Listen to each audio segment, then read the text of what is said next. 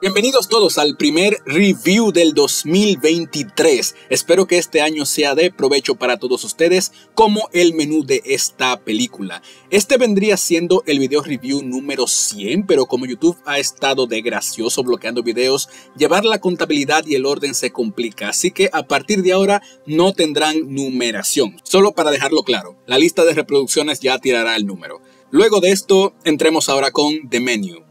Quiero comenzar con que no es una película para todo el mundo, con esto me refiero a que te puede gustar o te puede dejar con cara de póker para cuando termina la película. Por mi parte estoy entre las dos, me gusta, pero el final me fue bastante surrealista. Sí, el final para mí, a pesar de todo lo que pasó, fue lo surrealista.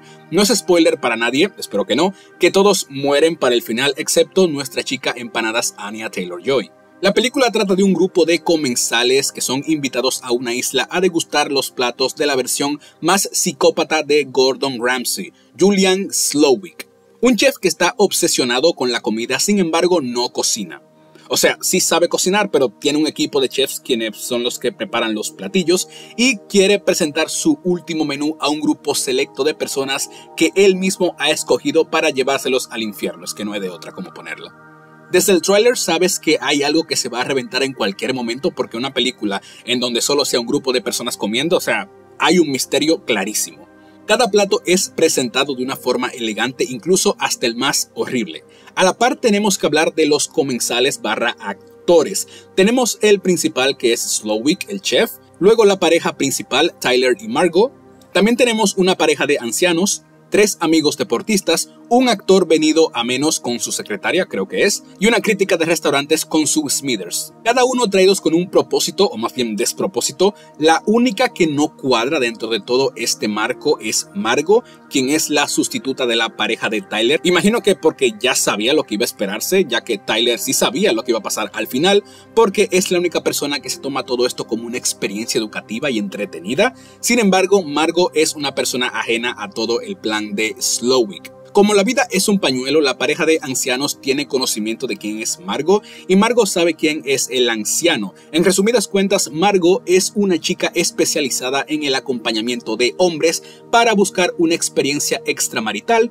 o, en el caso de los solteros, sentirse vivos. Si entendieron bien y para los que no, bueno, en simples palabras, ella es una... Empanadas Ahora bien, ¿por qué están aquí? Slowick tiene muy medido lo que es el arte culinario. Como dije, es un obsesivo con la perfección que ha perdido el rumbo y siente que las personas no aprecian el arte y que hoy en día el trabajo del chef está reducido a solo servir y que el comensal reciba ni más ni menos, sin ningún tipo de respeto o asombro por lo que se llevan a la boca, como en una de las primeras frases que él dice, no coman, prueben, saboren, disfruten. Y tienes razón lo que dice, la mayoría de nosotros aquí viendo esto no se detiene a prestarle atención a la comida debidamente. Y sí, comemos algo y nuestro paladar está encantado de los sabores, pero no nos detenemos a pensar realmente qué es lo que estamos comiendo, sus componentes, sus distintos sabores, porque siendo sinceros, lo que queremos es sentirnos satisfechos y punto.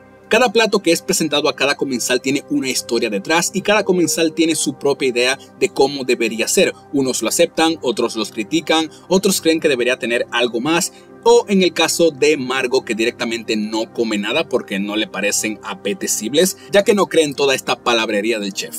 Margo viene siendo aquí una representación de una persona común, como la típica que va a un restaurante a que le sirvan comida y no hacer un experimento culinario. Y además con la gran cantidad de dinero que se están embolsillando estos panas, y que es verdad que los restaurantes sirven unas, unos, unas porciones pero, pero diminutas porque nunca he entendido por qué. No sé si, si eso tiene que ver con, con lo estético o porque si es una estafa. Directamente no entiendo por qué siempre son porciones tan pequeñas en restaurantes como que tan finos. Ahora la respuesta a la pregunta de por qué están aquí, porque cada uno de ellos ha perdido el rumbo en sus vidas. Lo que una vez comenzó como gusto por lo que hacen terminó desviándose hacia un camino del que no pueden salir. Por ejemplo, los tres jugadores tienen problemas financieros y los resuelven a base de engaños y deudas. La pareja de ancianos tiene problemas de infidelidad y que ha sido de las que más ha visitado este restaurante, pero no pueden recordar un solo plato durante todos esos años que han ido a comer ahí, lo cual le hiere el corazón a Slowick. La crítica, quien fue la que descubrió a Slowick y lo puso en el mapa, que está cegada con su ego y ha hecho que cierren varios restaurantes. Tyler, quien es el experto en cocina que cree que se ha visto todos los capítulos de Kitchen Nightmares, que paréntesis con esto, tengo un vicio con ese programa últimamente y luego ver esta película fue como un episodio extendido y más extremo de todo esto. Si alguien de aquí ha visto Kitchen Nightmares, escríbalo aquí en los comentarios porque yo también le daré su fuerte like para esta fanaticada que tenemos aquí de Gordon Ramsay. Y ya que estamos, péguenle un like al video que no caería nada mal. I'm done. You, you, you, you, fuck off out of here. Me. Get out. Hey, excuse me, madam. Fuck me.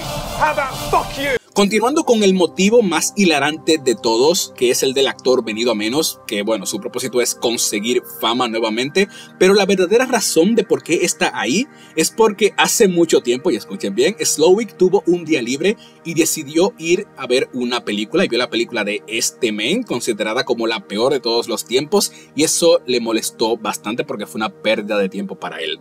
O sea, es muy lol si te pones a pensar que él está ahí simplemente porque es una película mala. La cosa se desmadra cuando uno de los chefs se suicida en medio de todos y tengo que decir que la película para mí después de ese punto como que pierde el suspenso porque ya sabes que están en un lugar sin salida y que todos realmente van a morir.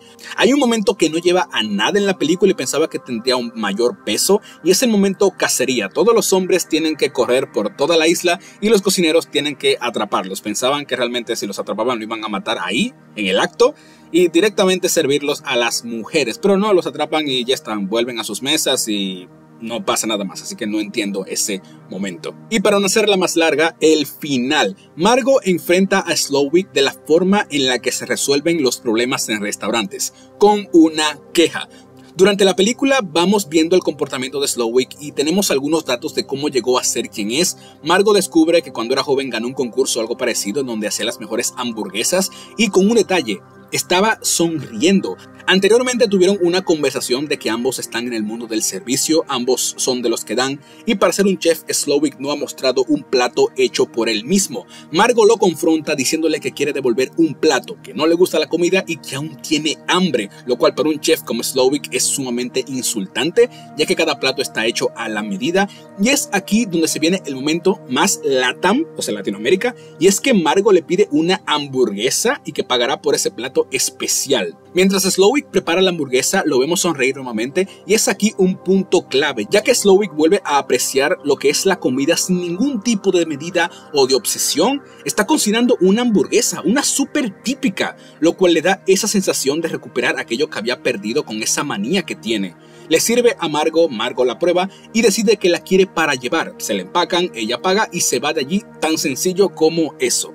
Este final puede chocar a muchos porque no se entiende por qué la deja ir así nomás y a otros les gusta porque es como un bajón a tierra de este chef tan cuadrado y Margo solo le recordó que la comida es solo comida, o sea, que no se debe ser tan crítico con ella por el hecho de que puedes moldearla a tu gusto o por todo el conocimiento que tengas. Es verdad que necesitas una buena presentación, sabores y todo eso, pero la gente lo que quiere es comer, sentirse satisfecho y no sentirse juzgado cuando quiere o no quiere un plato X. Una vez ella fuera de la ecuación, el menú vuelve a continuar y preparan el último platillo, que para el final todos los comensales como que ya están resignados a perecer en ese último plato en conjunto, en donde todo se prende fuego y todo se va al caño. Margo escapa en su bote, llega a tierra y ve el fuego a lo lejos comiéndose su hamburguesa y tomando de servilleta el menú de esa noche. No es una película para todo el mundo, el final te puede dejar como que plop, pero es muy entretenida de ver, aunque puede parecer una obra de teatro por radio. Visualmente es bonita, los planos son muy buenos, la dirección es genial. No subestimaré el guion porque hay algún mensaje entre líneas que aún no percibo del todo y en general es una película de 8 para mí. Anya Taylor-Joy y Ralph Fiennes están nominados como mejor actor y actriz, pero siento que no es justo para Nicholas Holt porque a mi parecer hace un muy buen trabajo como un desconectado mental de todo. Me encanta lo tranquilo que le está dentro de todo este caos, lamento lo que le pasa a él y su platillo es... Yo creo que es, es de los mejores platillos que sí, o sea, en comparación a los otros es, es un disparate, es una basura total, pero es que me encanta la presentación de su plato porque él lo ponen a cocinar en un momento, pero es que realmente, o sea, ese momento es, es muy, muy loco porque realmente él es como un experto en que sabe todos los ingredientes, pero realmente no sabe cocinar y el chef lo pone a prueba. Esa, también es como una de las razones por la cual él está ahí, porque él es como que un sábelo todo y un erudito y todo lo demás, pero realmente no tiene como que ningún, uh, ¿cómo digo? Como ninguna faceta artística para llevar a cabo ningún plato de los que él conoce. Y bueno, todo se resume a él simplemente